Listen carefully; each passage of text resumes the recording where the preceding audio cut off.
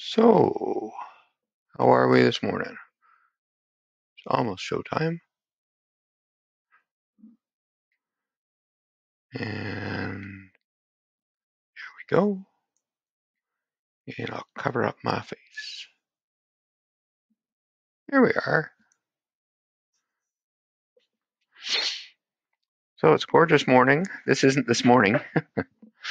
um, this is probably Friday, probably Friday afternoon, maybe Saturday.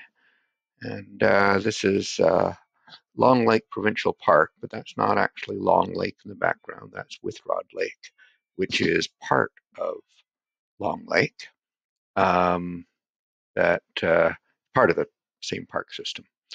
And uh, I say Dora the Explorer. That's a show or a book or cartoon. I can't remember what it was.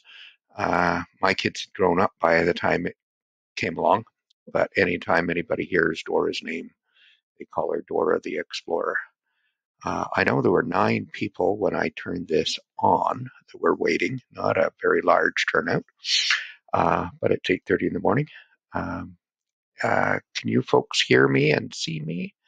Just want someone to say, ah, good, Christopher, great, thank you. I always wonder, am I just talking to myself? it's a strange world here. Anyway, so um, I almost missed class this morning. That uh, yesterday was really, really miserable with rain, so that's why I posted that picture for yesterday's class. Um, but this morning I went down to uh, the shore. It's only a few blocks away from my house, down a steep hill, but um, uh, to get down to the northwest arm. And the sun was just magnificent, but and it was so bright I couldn't take a picture looking down the arm towards the ocean. This is looking back the other way along that stretch. And uh, if you know Halifax, um, I'm looking across at Quinpool Road as it starts uh, from the roundabout and heading on uh, into the city.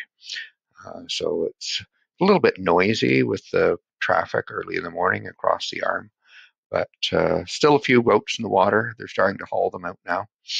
Uh, many of the ones that are there right now are uh, a couple of them anyway are from boats from away. I'm not sure where they're going to go. We always get some that come here from Saint Pierre Miquelon. We used to get some from the States. Um, but uh, beautiful fall colors, beautiful light this morning. But we were so enjoying things along the water's edge. Uh, I just wanted to hang around there for a while and then re remembered, oh yeah, we got class at 8.30. So raced on home just in time. Um, this is the same now uh, because you got a class on Tuesday and the other sections didn't get a class on Monday.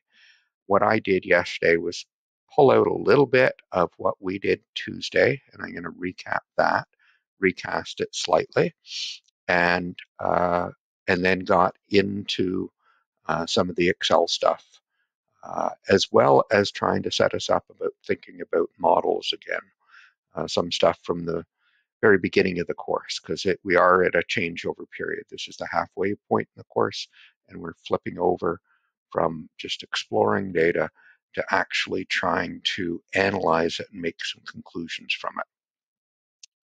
And uh, I've been getting a number of people, um, as I said last time, if you weren't here on uh, on Tuesday, uh, assignment one grades were much lower than they should be. It was a 65 average or thereabouts.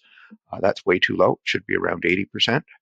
And um, that, so I put out the offer, especially to those that got really awful grades, and the assignments are worth a lot. So this is important. Um, if you redo questions, I'll give you back half the points. And so if you have been emailing me those, and I'll try to get those grades fixed for them. Um, but I'm, I'm particularly looking at those people that may have gotten uh, five or six or three in some cases uh, on that out of 10. And that's, no, you should have gotten much better grades than that. So this will help bring it back up again. Um, if your problems went beyond that, uh, get in touch with me. I've got a couple of Zoom meetings with students to talk about the course. Um, and uh, so uh, uh, uh some find my office hours don't fit them. Uh, that just send me an email and we can meet at a different time. Test number two grades, again, lower than I expected. I've gone through all the questions and found that particularly some of the ones on pivot tables, uh, there was th those are challenging to do in a multiple choice test.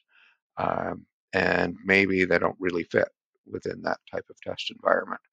Um, so the, there were some questions where half the students were picking a different answer from the right one. Um, some where it was just everybody was picking a different answer. It was clear that they really didn't know which way to go. Um, so um, I'm going to be going through that over the next week, reviewing it again and seeing how to adjust the scoring of the test um, to try to reflect some of that. That um, as well um, uh, within the test, and if you haven't viewed yours, you can view it now. Uh, and test one you can view. Learned how to turn that on, and I can add um, explanations to the answers. So not only would you view the results and what's the correct answer, but some commentary about why the answer should be C and not B. So it's, it's not just enough to know that you had the wrong answer, but why was the right answer the right answer and why was my answer the wrong answer. So I'll try to put explanations in there uh, for, uh, and I'll go back to quiz one and, and do some stuff on that as well in terms of filling stuff in now that I know how to do it. So I'm learning this as we go. I'm sorry that I didn't have it all figured out before the course started. Um, so, and as I said, that um, they uh, uh, we're making that transition from exploration, which actually is a certain amount of modeling, as I'll get to, but uh, and we're going to be using that data file we had last day, but I'm going to do the Excel part of it and uh, that as well. And uh, so the data set that we've got, it's not a real data set, although it looks fairly realistic. A lot of it does, but some of it's rather strange. Uh, was simulated. It's artificially created just for teaching purposes. And there are quite a few variables.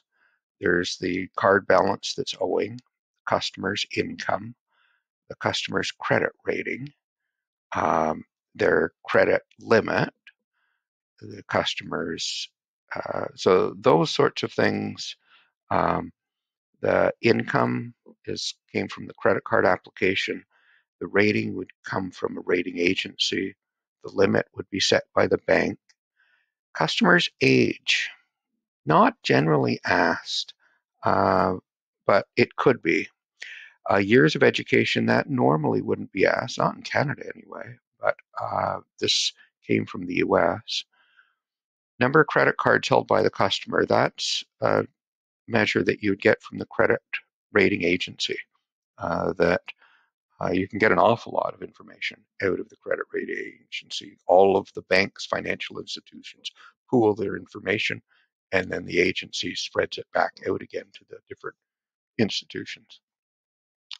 And then there are four that are tricky ones um, that they may be on the application, but they shouldn't be used generally in making decisions on issuing credit cards or setting the credit limit or uh, any of that type of thing. And those are the customer's gender, marital status, whether they're a student, that might be allowed. But gender definitely is not allowed and ethnicity isn't allowed but those are in the data set. And later on, we'll use them. We're going to be using this for uh, three or four classes. And um, and as I said last time, suppose we want to study, uh, we're primarily interested in how much people borrow, and we have different reasons for looking at that. And we might want to build a model that we'll get to later, and it's, we'll have the next uh, two classes on is building a model to try to predict the credit card balance. And uh, we do that to get some baseline to measure what's unusual and what's typical. Uh, maybe we're essentially trying to build a profile for a customer. What should they look like? And so if things don't fit the profile, then that might signal uh, criminal activity or something going on, something strange. And uh, we might want to try to understand why they borrow as much as they do, or at least uh, how can we encourage them to borrow more so that we can make more money. And maybe we want to find those that borrow a lot because uh, we'll offer them maybe a home equity line of credit. We don't make as much money off that as a credit card. Uh, the interest rate's much lower, but we wait, get them to then move their mortgage over with us and move other banking with us that they might be banking elsewhere, and then move their retirement savings in with us and so on. And so get other business from them by being nice. um, but we'd like to know what are the variables that give us insight into borrowing behavior and, credit card balances. So uh, last time we grouped the data, put it into three groups, and looked to see how does it vary among the three groups. And we did that with a box and whisker chart.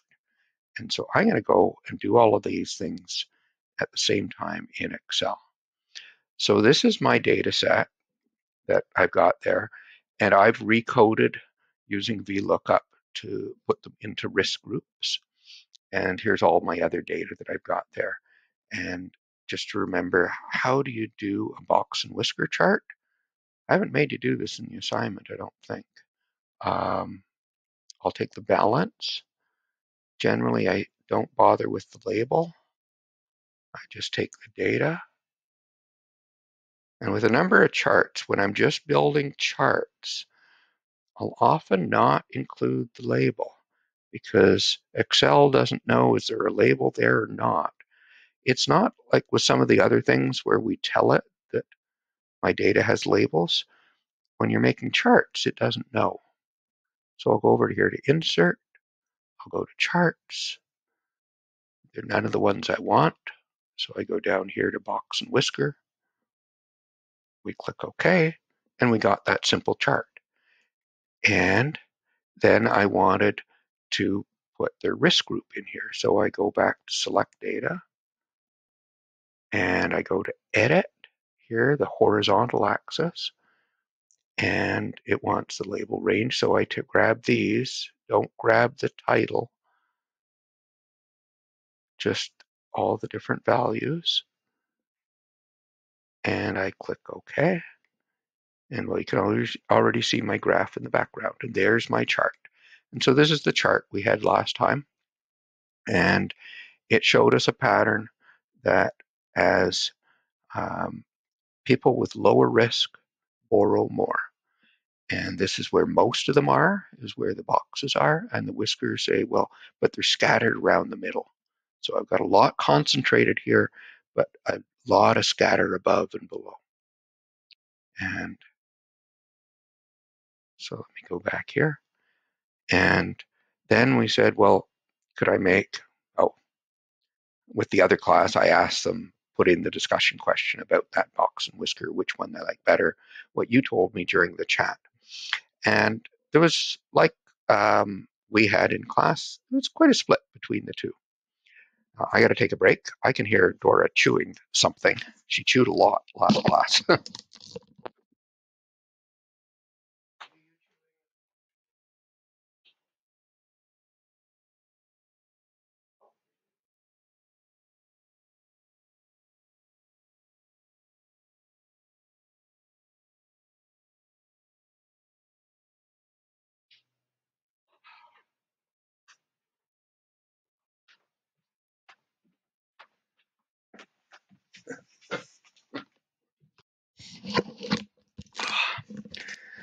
I don't think she likes me teaching.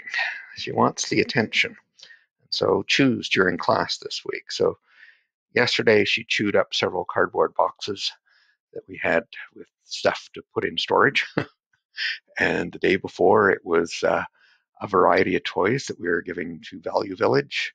They were, she took them back to her crate and they were all little pieces.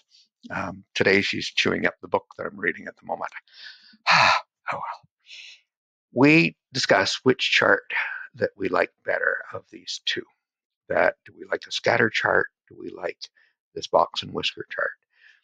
And just to reiterate, what happens is when my sample size gets larger and larger, the boxes for big samples stay roughly the same and the whiskers stay roughly the same. What you get with big samples is outliers um, at, at the ends here. But otherwise, the basic pattern stays the same. With a scatter chart, as you get more observations, you get more and more density in the middle. So it gets thicker and thicker blue to reflect these dense areas in the middle. But also the outside pieces where I've got whiskers here and I know these are less dense, they get so full as well because there's so many dots that I can't tell between the concentrated stuff and the whisker stuff. And then I get outliers too. Uh, so they uh, scatter charts sometimes can be a problem if I've got a huge, huge amount of data. If it's a modest amount, modest, here's 400, that's modest, uh, maybe up to a 1,000.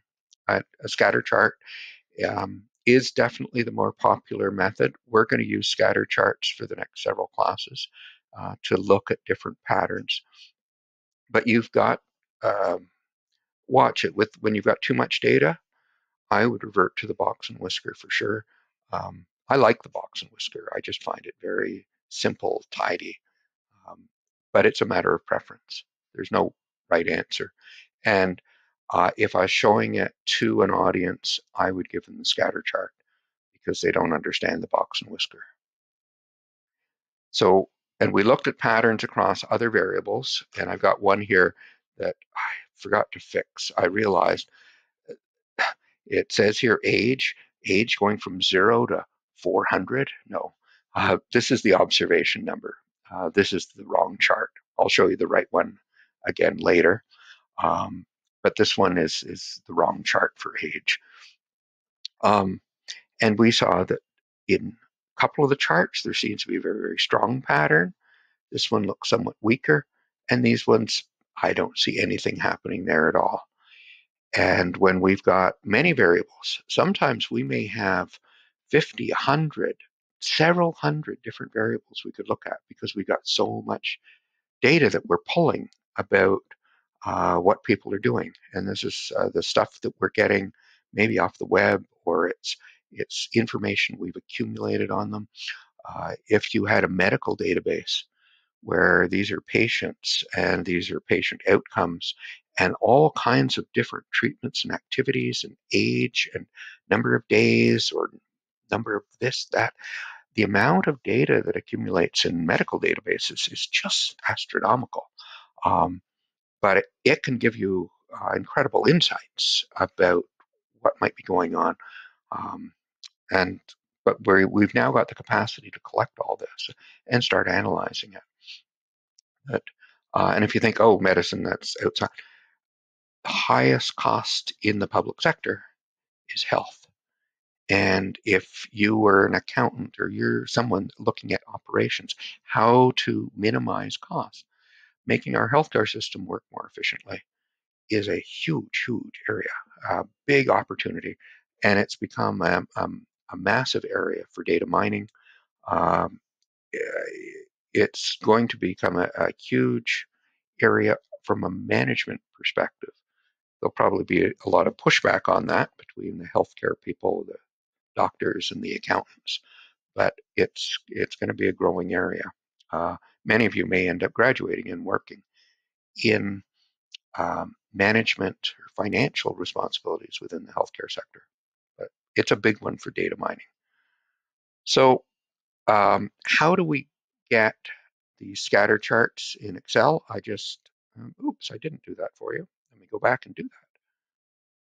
So that was the way I did the box and whisker. To do just a simple scatter chart, you take the two columns you want. So I want, and be careful how you do it. Take the ratings. Don't take the label. Sometimes it works with the label there. I think I showed you last class doing it with the label and it worked. Um, and then the next class I did it with, it didn't work. So I don't touch the label. I just take the numbers. I grab them all because again, I'm not, I don't have a checkbox to say that my columns have labels. So Excel can easily get confused. Um, times it doesn't seem very smart. And I go up, I insert, I say, give me a chart. It picks the right one. It's a scatter chart. And I click OK.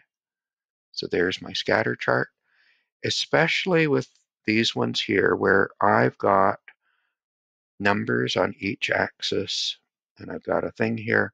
I strongly recommend, let me move this up to the top here, that you go in the design tab, go over to add chart element, format it right away because you're going to forget things.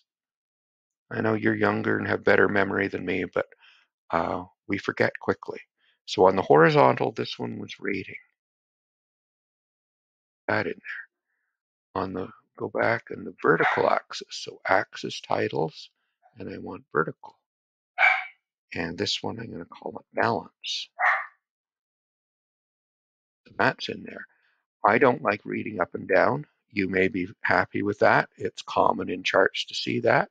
But what I would do is I'd right click, I go to format axis. There are different things up here. Uh, this one here seems to be the one to use. It says text direction. You find these things just by exploring. It's hard to find good instruction. And there, balance, it's horizontal. I find it easier to read. Um, it's up to you. And title, give it a title. And most of the time, if there's a story in the picture that you want to tell people, put the story in the picture so um, that um, customers with good ratings borrow more. There we go. That's what the pattern is. And so when I'm saying that if they got good ratings, they seem to borrow more, and then you look down and you see the picture, and that's exactly what's there. So it's it's they reinforce each other. Don't just say balance, credit card balance versus credit rating. Why should I look at this picture? Uh, the title doesn't encourage me, uh, doesn't motivate me. It's not a call to action. And when I look down, I have to think about it, and I have to come up with the interpretation of it.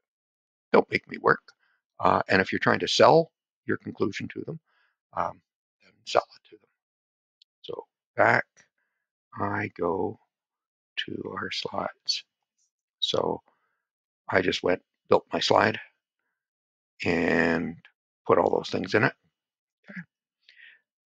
And last time we said, well, if you're doing this lots of times, and suppose I've got 50 variables, 100 variables, I got lots to choose from, and I'm trying to sift through them and see which ones have a strong pattern, which ones have a weak. If I had to go and build pictures for every one of them, that's an awful lot of work and very time consuming. And then I've got to make judgments about which one is better than which. Where should I focus my attention?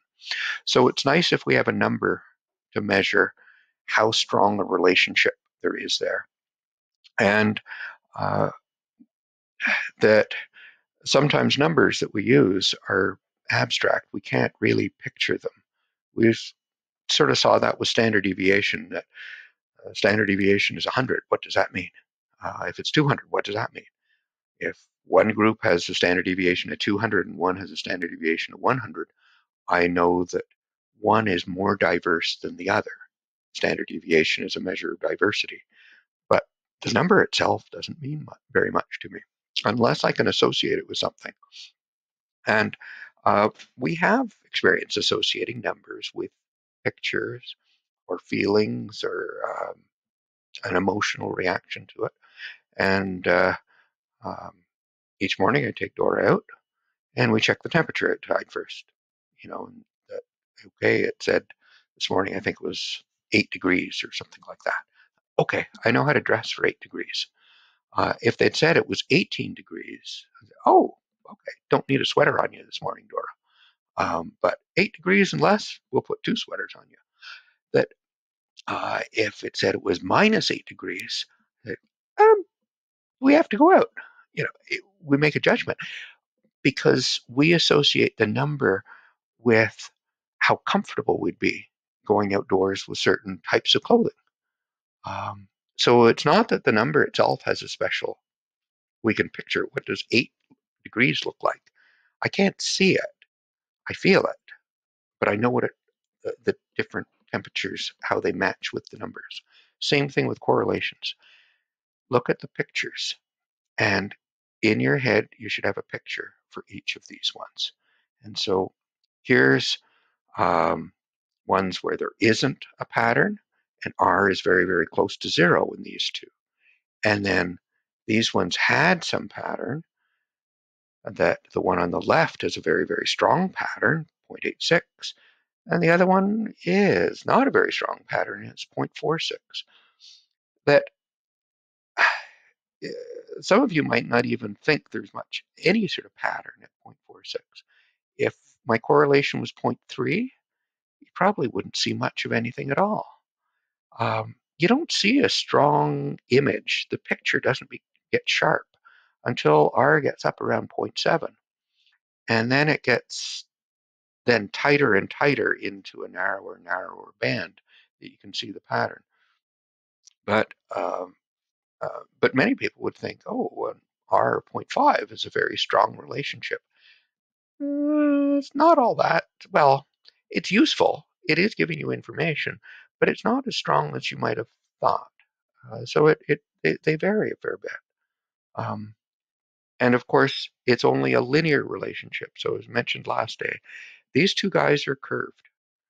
And that if it's a if it was an upward sloping curve, if it was a curve that was zip like a ski hill, um, then we'd still get a positive relationship because you could draw a line going uphill. But if you drew a line through these ones, line would be flat, it would be horizontal, and that would suggest no relationship. So an R close to zero means there's no straight line relationship, but it could be that there's still a relationship there that's curved. Um, so you don't automatically dismiss an R that's close to zero, uh, especially if you thought you should have seen something. If you thought there should have been a pattern and the R said there wasn't, then I'd go and do a scatter plot and see what's what's it look like there. So as to how they're calculated in Excel, it's really annoying. Excel wants the two columns to be side by side, adjacent, um, that nothing in between them. That if you look at our data set, let me get my pictures out of the way. Or I'll just, hello, I'm just going to take them out altogether. Whoops, get you out of the way. Huh, doesn't want to remove that picture. There we go. Okay. Let me go up and look at what my variables are here. So I've got ID. It's a number, but it's not a numeric variable. Uh, that was one of the problems in the test, social insurance number. Is it numeric? Is it a quantitative variable or, or a categorical or qualitative variable? It's a categorical. These are just happen to be different people, but I gave them numbers but they're just people. They're not, they aren't numbers. Um, that, and so this may be coded numerically, but it's a categorical variable. So I really shouldn't analyze it, though we could. And I accidentally threw it into my correlation table you'll see in a minute. Income is numeric, it's quantitative. Limit is, rating is. This one isn't. So I'm not going to be able to use that one in a defined correlation. Cards, age, education, those are fine, but gender doesn't work. Student, married, ethnicity, none of those work. Those are all clearly categorical. And then, but balance is numeric. So remember, correlation involves looking at differences from the mean of, it's a messier formula than variance, but it's all measuring how far you are from the middle. So it has to be numeric. So if I ask for correlation between rating and balance, it won't give it to me because it's got all of this junk in the middle. It's going to want a block of data, not column, separate columns. So what I did was I went and copied the numeric ones into a new sheet. Okay.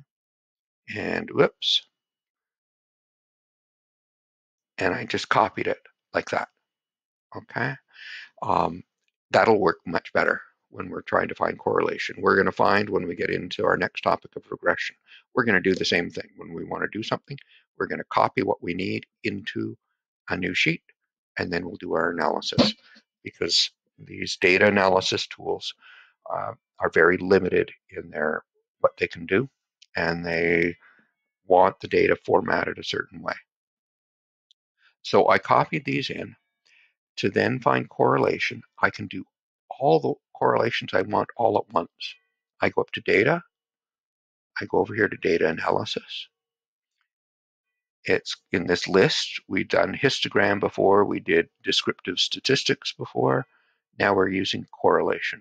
And I click OK. Now it's going to ask, where is my data? Just like the other ones did. What's the input range? My data, I can include ID. I shouldn't have, but I, I did. And it goes from A1, the top left corner, all the way down to the bottom right corner. So that's column H and it's row 401. So this is where my data is. I've put my data in columns. We almost always put our data in columns. I've got labels in the first row. So this is not like building charts where I just grab the data I want. This one, I tell it where the data is, and I can tell it it has labels. Uh, when I'm inserting a chart, I can't tell it it has labels. So um, we'll just leave that out there. We'll check for the output. Um, um, when I'm doing some of these ones, uh, I've been with a lot of things before. I've been putting my output in a new sheet not in my data sheet. This one I'm doing a specific task. I just want correlation. That's all I'm going to do on this sheet is correlation. And so here's the data that I want to do the correlation on. And then I'd like the correlations to be right there with the data. So I put, tend to put them in the same sheet. But you can always put it in a new worksheet.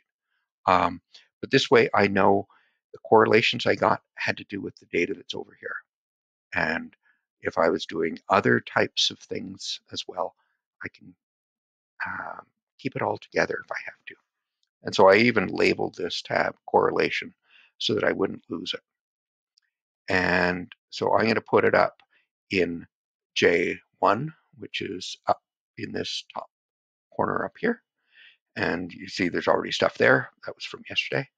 And I'll just put it right on top. And it complains, hey, there's stuff already there. So what? Put it on top. And there it is. It gets put on top of the stuff I had before. And it creates a table for me. That the um, in this table, you'll see a variety of numbers. There's on the top part, it's all blank. I'll explain that in a minute. The diagonal just has one all the way down. And that's because I'm looking at the correlation between credit rating, this one here, between rating and rating. Rating and rating, it's if the rating was 462, the rating is 462. These guys all match up on a perfect line uh, because it's the same thing twice. There's no variability, no scatter, anything like that. So the diagonal always has ones.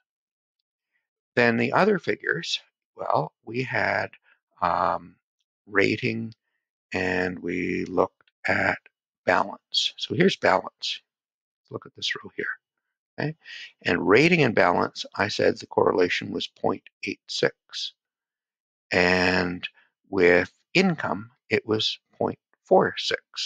So just looking at those charts, um, this was rating and balance. This was the 0.86 one and this one was 0.46. Okay.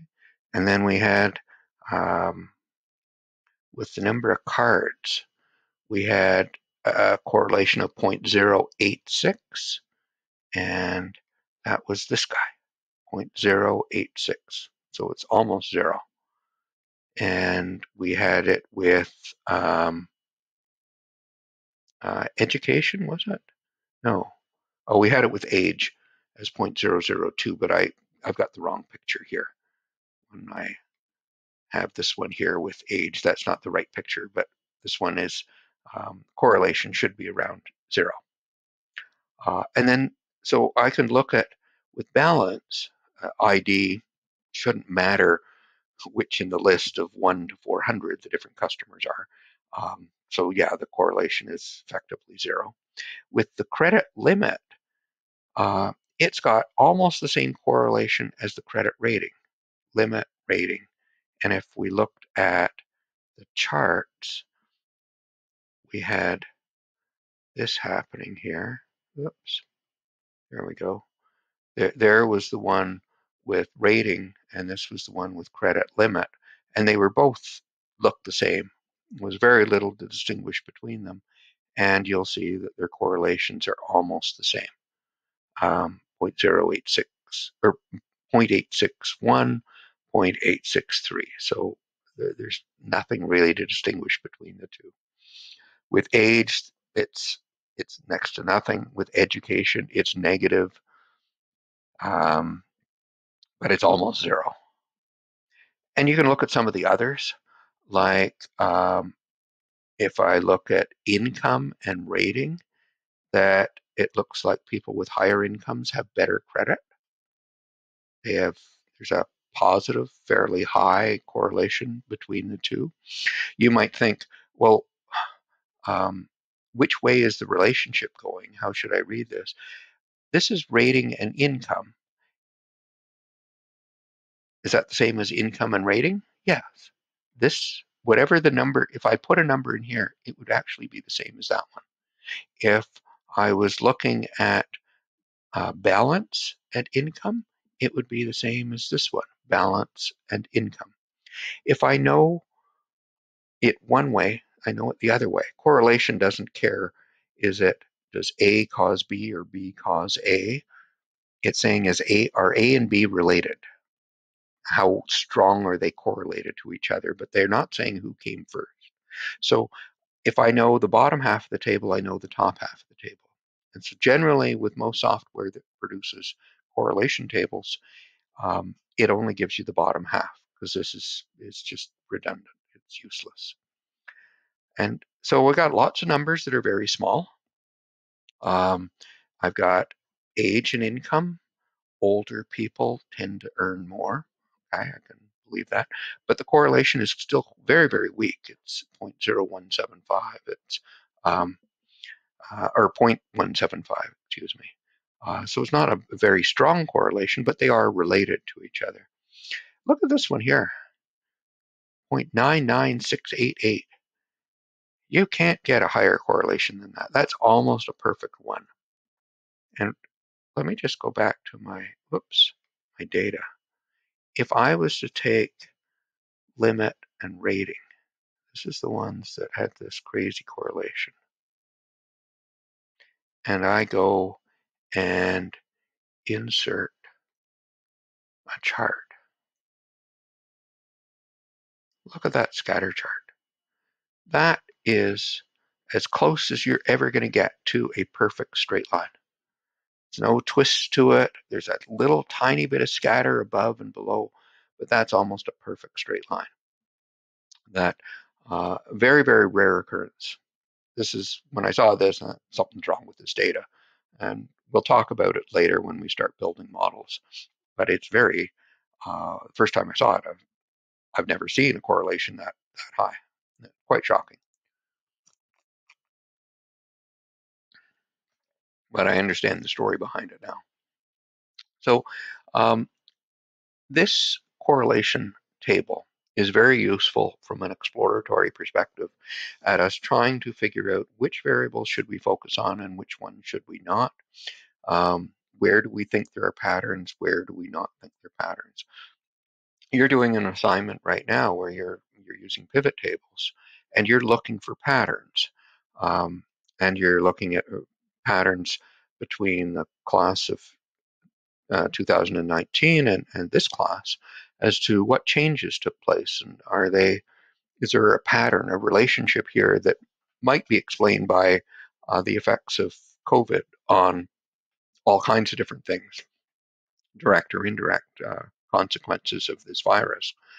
Um, but you're looking directly at the pattern like looking at a scatter chart or, or a box and whisker chart. And um, you're not um, measuring it with a number like we are here. And uh, but it's it's comparable in terms of uh, a, a useful tool to look to see where there are patterns and where aren't there patterns. So let me get back to my slides. I think that's all I want to get done in Excel today.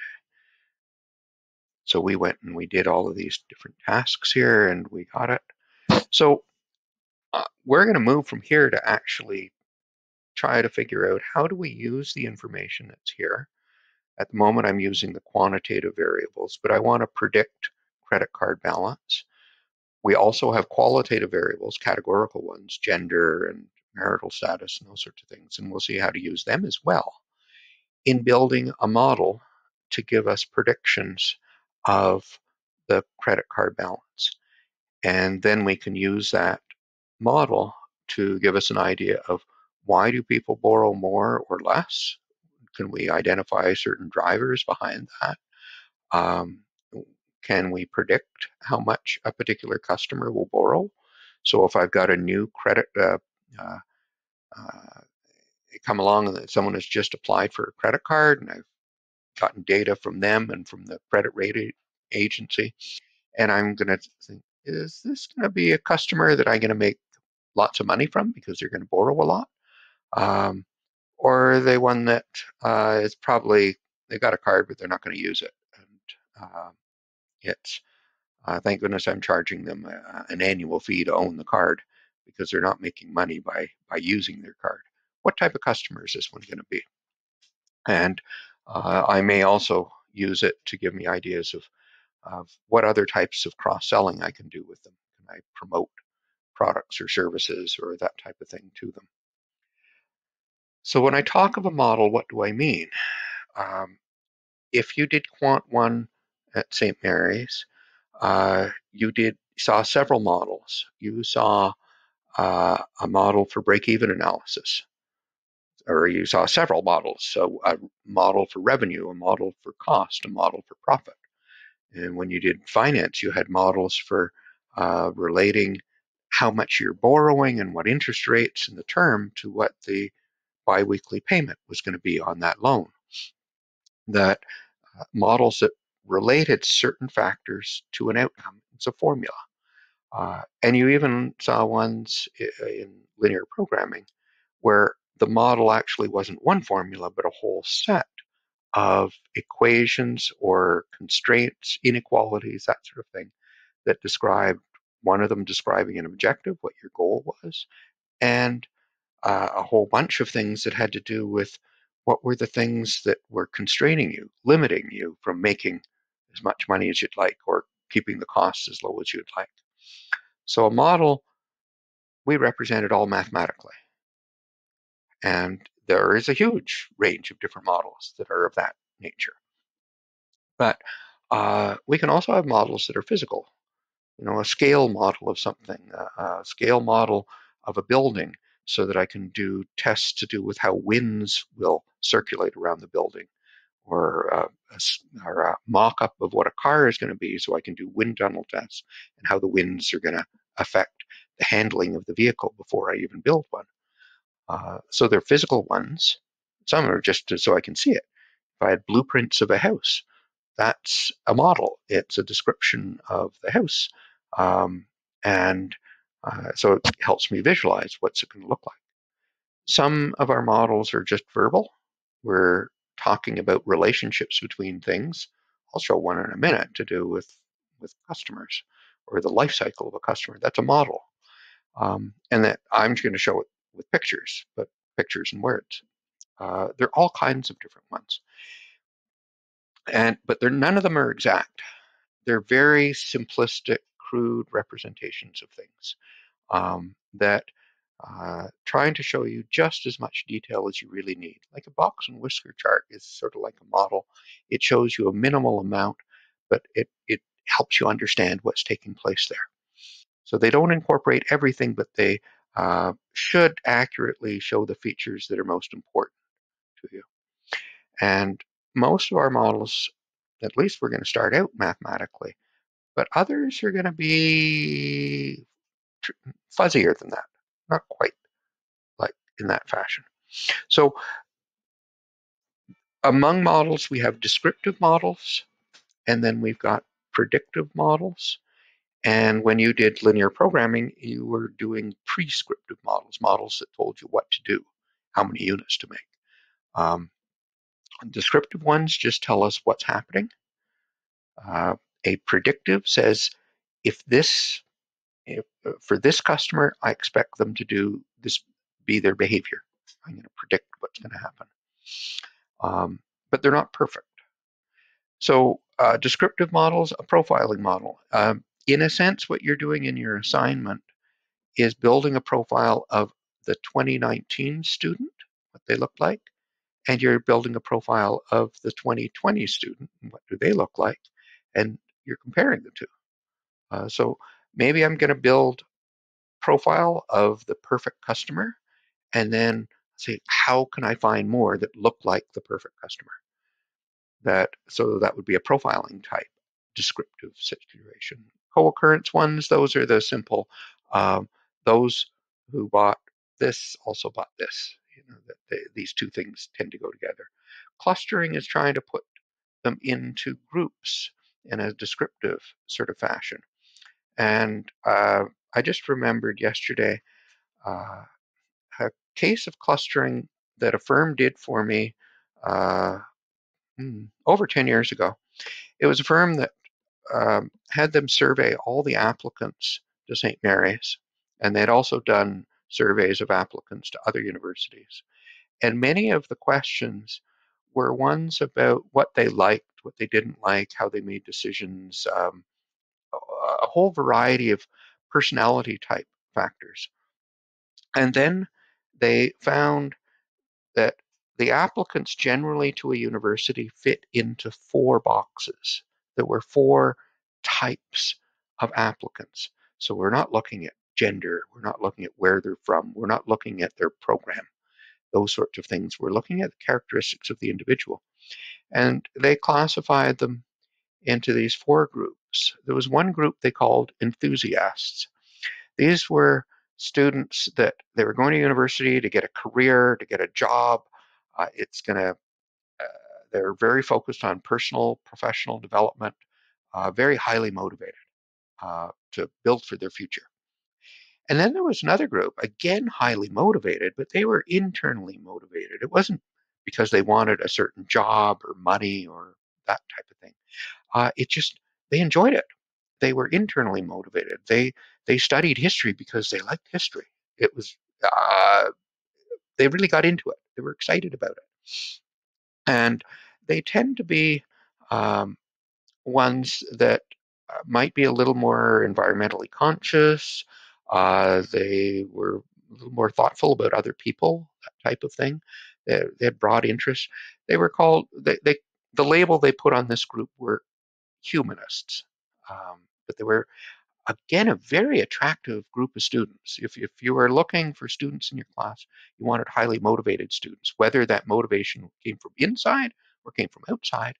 They were motivated. They and uh, so they would be potentially exciting students to have in your class. Then we had other groups. there were the conformists. The conformists were ones that, why are you studying business at St. Mary's? Uh, well, my parents wanted me to do this. And so that's what I'm doing. Yep. Um, that uh, they're being driven by conforming to social norms. Um, this is what everybody does at my school. Uh, this is what my parents want me to do. This is what all my friends are doing, so I'm going to do what they do. Um, that So they aren't motivated to do this, they're just going along with the pack or being pushed along. And then um, the last group were called drifters. And they were ones like, I don't know, high school's over. I don't want to go work at McDonald's or Tim Hortons. So what do you do? I, you, you know, uh, well, why are you studying business? Well, I don't know. I didn't want to do science and arts. I don't know. I'm probably not going to get a job. So I don't know. I'll take business then. Um, they're just drifting around. And so a, a, university, now you might think they would all want to just recruit the enthusiasts or humanists. Depends upon the mission of the school. Um, I really am interested in the drifters. If you get the drifters coming in, and there's a large population of drifters out there, that they need guidance. Um, they need someone to find the switch that turns them on.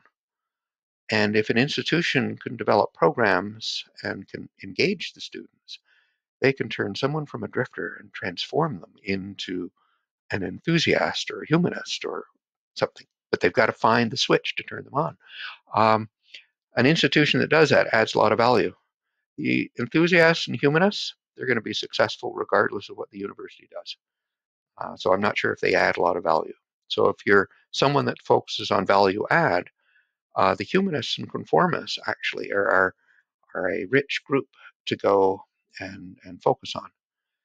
Those, I'm giving a long story here, but this is a clustering application.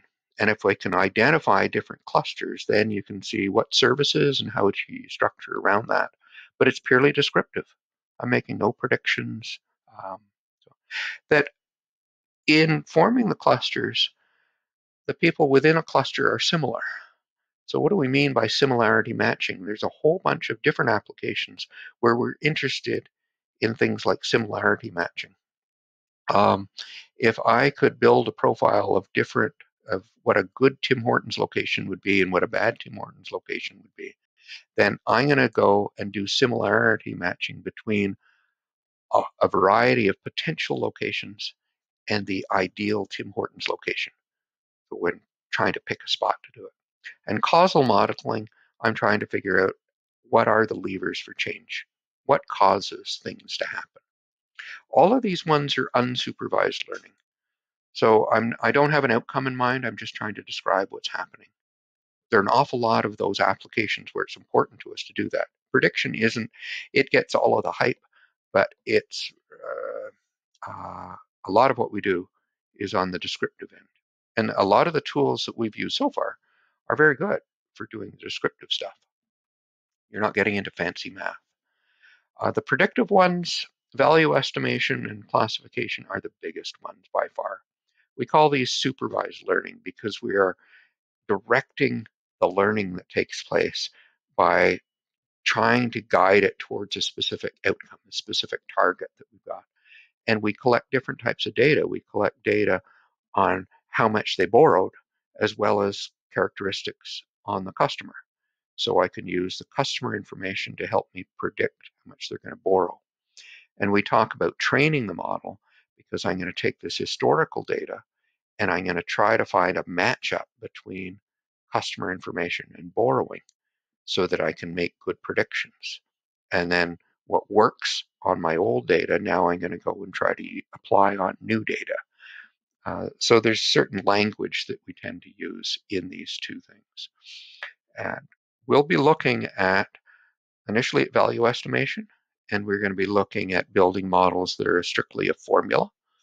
Um, put numbers in, I get numbers out, like a cost formula.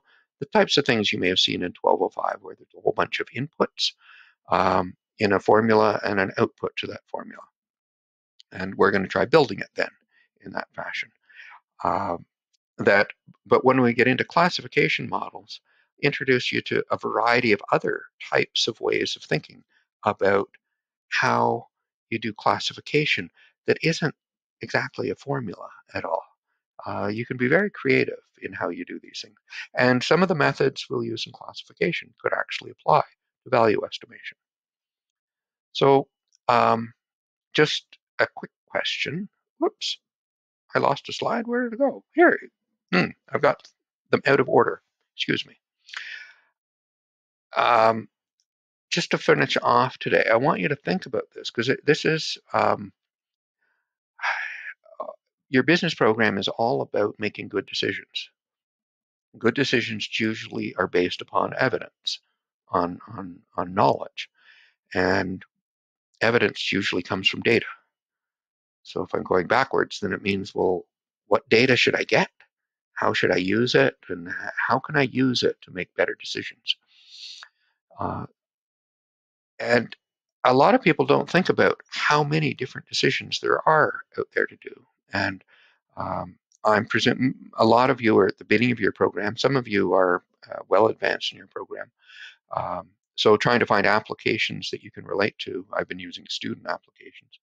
Uh, marketing, we're customers for everything. So we have a sense of marketing, at least from the customer's perspective. That um, here's a simple model of a life cycle of a customer. A customer starts out as a prospect that you the firm then sends an advertisement to or direct mail solicitation or radio ad or something like that. And the, some of the prospects respond to them and uh, so they go into the store because they heard you know that they visit the website because they heard it's prime day whatever. And some of them buy. So from prospects to responders i got a smaller group from responders to new customers it's a smaller group again. And that uh, in many instances that first time customer becomes a repeat customer and we start building a relationship and sometimes that relationship breaks down.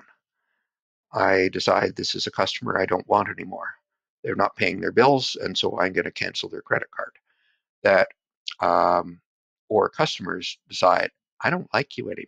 I don't like your service. I don't like your prices. I'm going to shop somewhere else, and they become a former customer.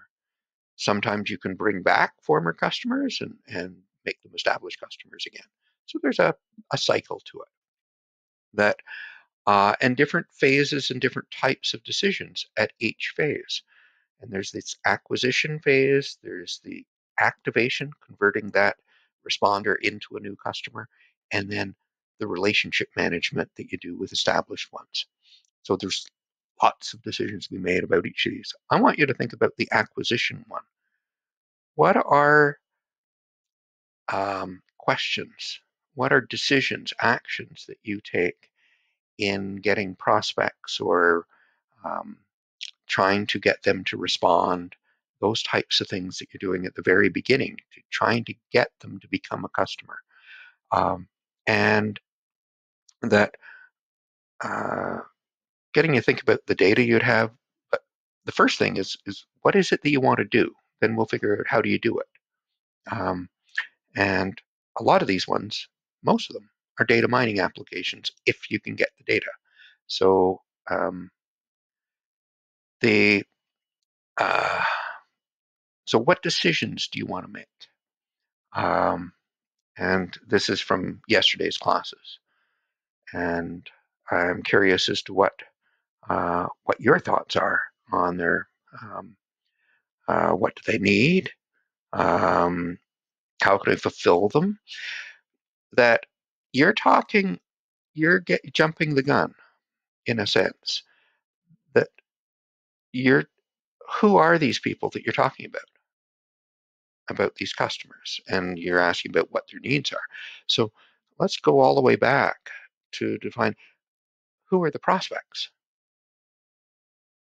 And you, you need to start there. You've got a set of products and services you're probably already delivering. And there may be ways that you can uh, help engage that new customer or that established customer. But uh, and these are very important questions that we need to address there in trying to de- define what our product offerings are and how we deliver service and that type of thing. I want to get back before they ever got in the store. What makes a good customer? That is the perfect question.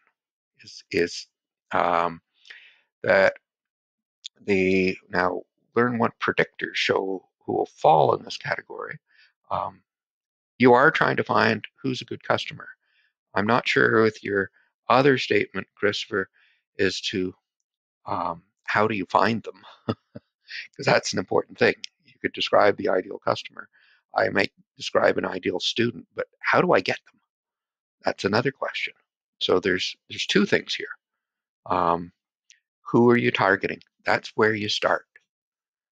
And um, very often people screw up because they haven't thought carefully enough about who the target is.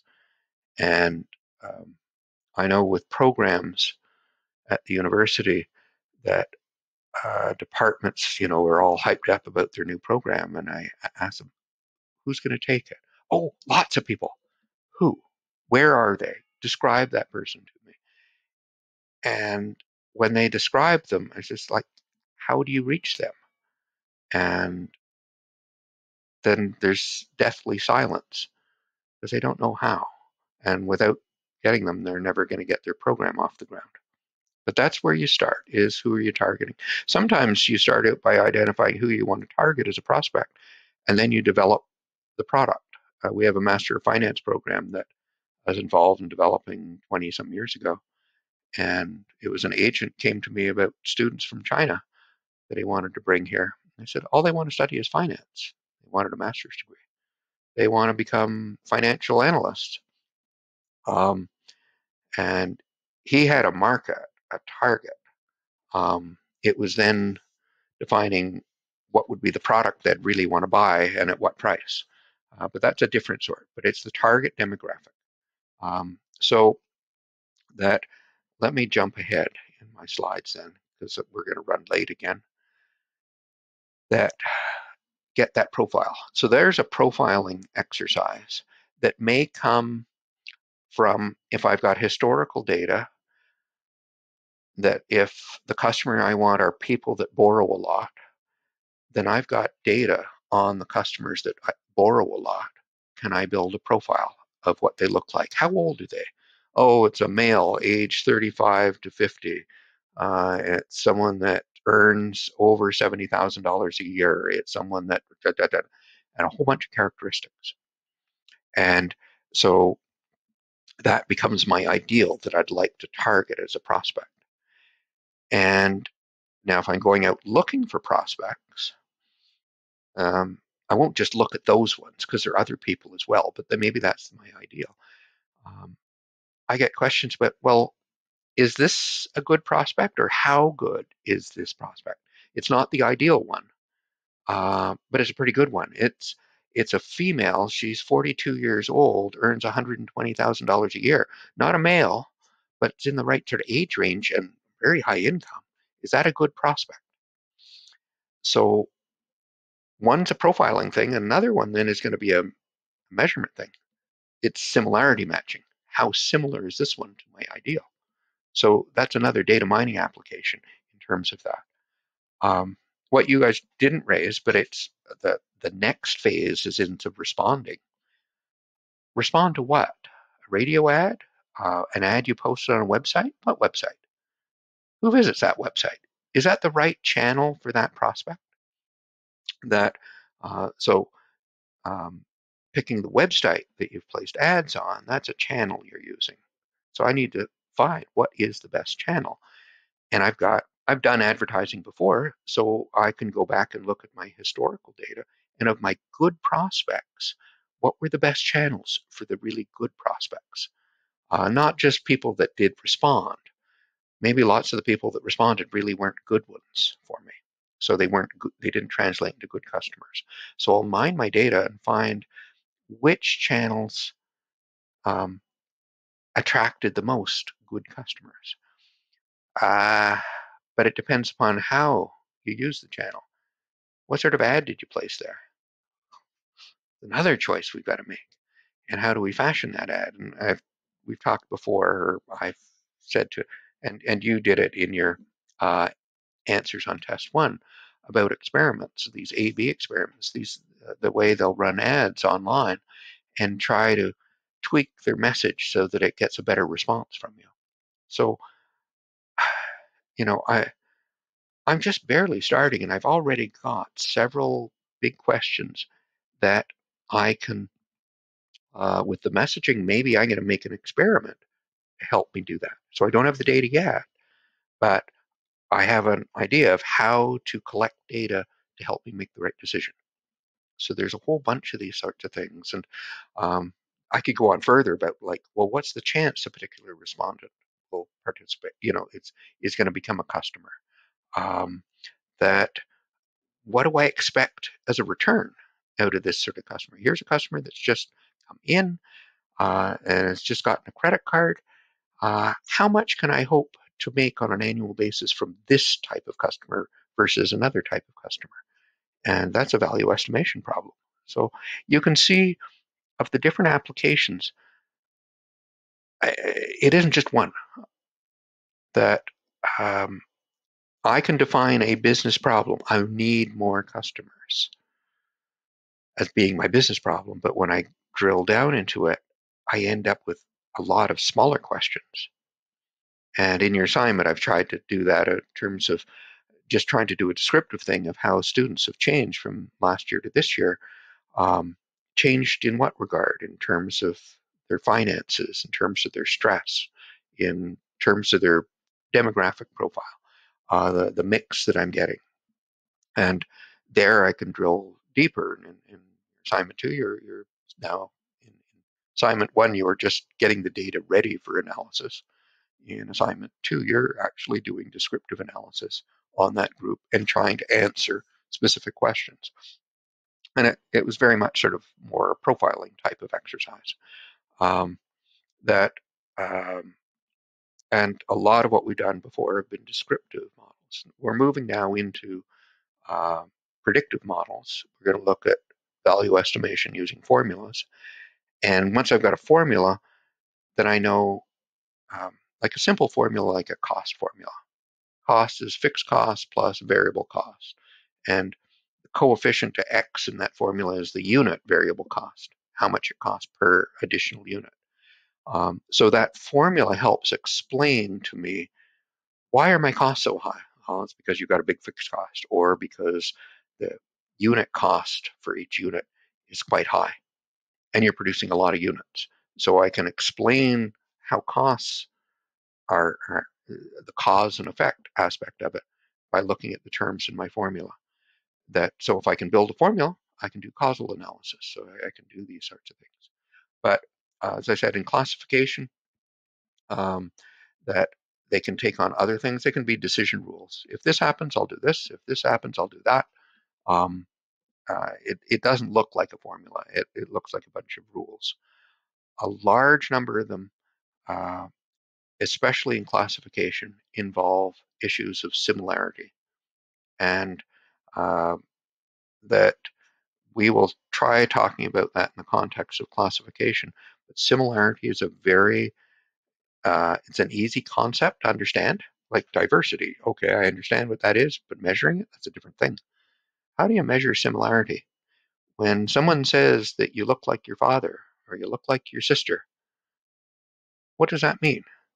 Uh, did they actually measure how similar you are to your sister? I don't know. Um, but we do it. We say this. Um, that um, how do you measure it?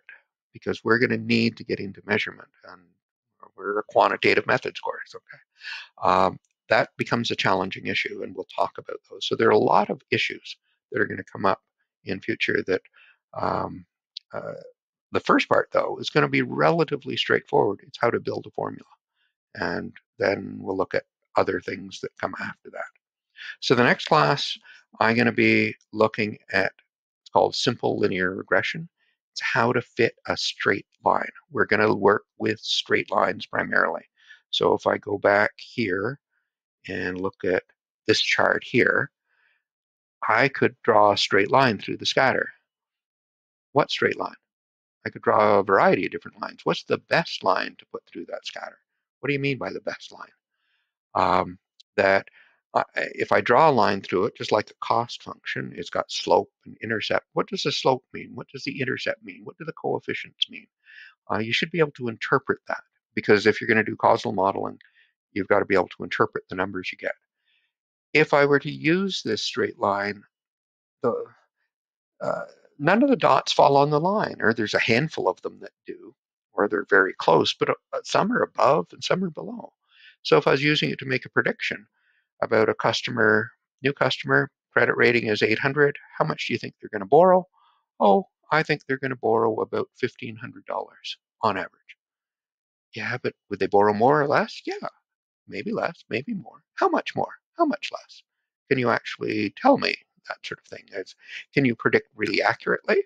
Like here, I think I can make somewhat accurate predictions, but if I was using income for my model, and this is someone that earns $150,000 a year, it seems to be a huge amount of scatter here. I can't make accurate predictions. What do you mean by accurate? Let's try to define what these different words mean for us. So there's a variety of these different things of what's accuracy mean. We'll be introducing a term called R squared. We'll be revisiting standard error. You're going to get sick of me talking about standard error, but it's a valuable tool in talking about accuracy and in trying to make predictions.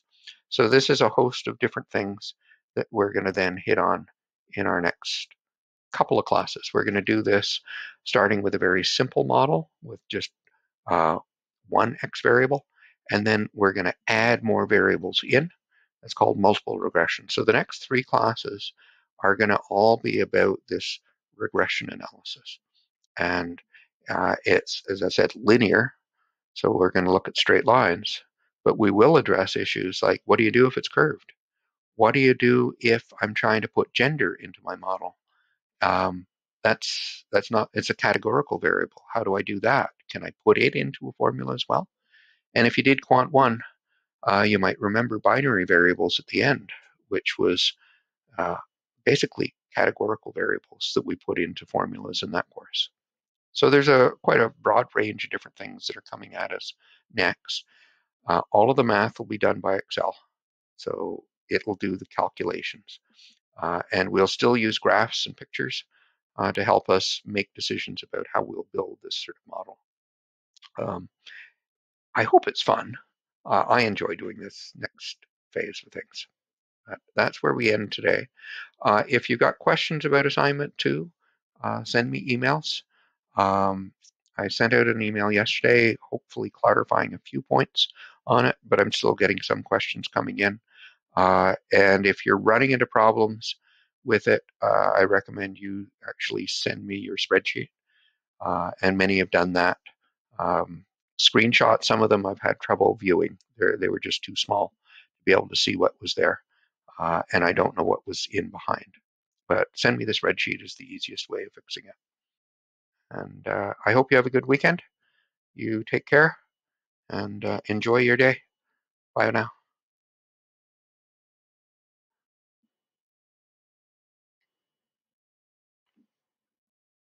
Mm-hmm.